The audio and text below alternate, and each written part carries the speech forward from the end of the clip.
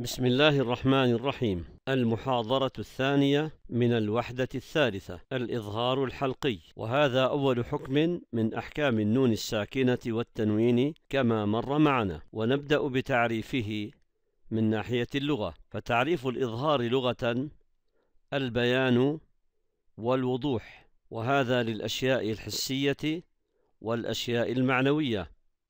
فتقول ظهرت الشمس إذا بانت ووضحت وتقول ظهر الحق إذا بان ووضح.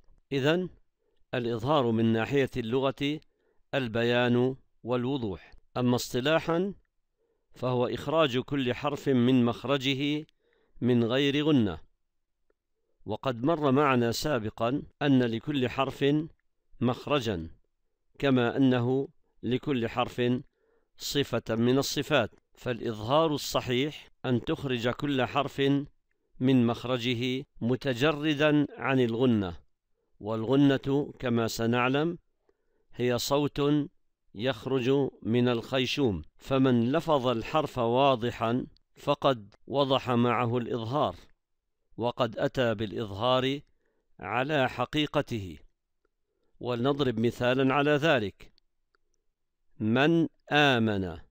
تلفظ هكذا بالإظهار التام. من آمن. وأما لو أحدث معها غنة فقرأ من آمن فلا يقبل هذا القراءة لأنه أدخل معها غنة. وقلنا إن الإظهار إخراج كل حرف من مخرجه من غير غنة. حروف الإظهار ستة. الهمزة والهاء والعين والحاء والغين والخاء.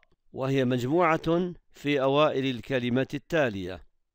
أخي هاك علما حازه غير خاسر. فنأخذ من كلمة أخي الحرف الأول الهمزة ونأخذ من كلمة هاك الهاء ونأخذ من كلمة علما العين ونأخذ من كلمة حازه الحاء ومن كلمة غير الغين ومن كلمة خاسر الخاء. هذه إذن مجموعة حروف الإظهار. فإذا جاءنا نون ساكنة أو تنوين فتح أو تنوين كسر أو تنوين ضم وبعده أحد هذه الحروف سواء كان بكلمة واحدة أو بكلمتين فإنه يسمى إظهارا. وسنضرب أمثلة على ذلك. من آمن؟ انظر نون ساكنة أتى بعدها همز وكان في كلمتين. ينأون. نون ساكنة. أتى بعدها همز في كلمة واحدة. رسول أمين. تنوين. جاء بعده همزة وطبعا في كلمتين لأن التنوين لا يأتي في وسط الكلمة. إذا نقول في هذه الأمثلة الثلاث بالمثال الأول من آمن أظهرنا النون الساكنة عند الهمزة لأن الهمزة من حروف الإظهار. ونقول بين أون أظهرنا النون الساكنة عند الهمزة لأن الهمزة من حروف الإظهار.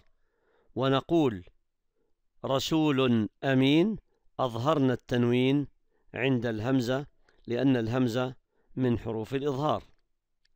يلاحظ على هذه الأمثلة الثلاثة أن الإظهار يقع في كلمة ويقع في كلمتين. وهذه نقطة ينبغي أن ننتبه لها جيدا.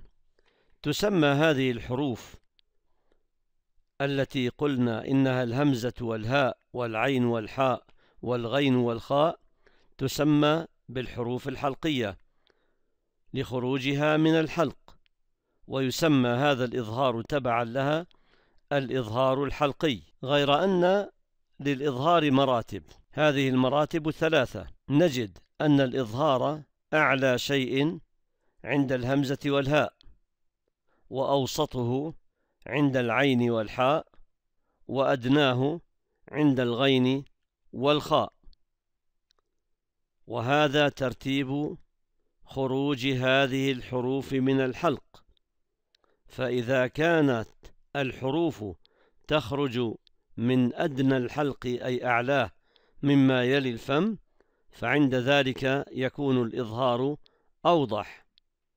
وإذا ما انتقلنا إلى وسط الحلق يكون الإظهار أقل وضوحا. وإذا انتقلنا إلى أقصى الحلق يكون الإظهار أكثر غموضا أيضا.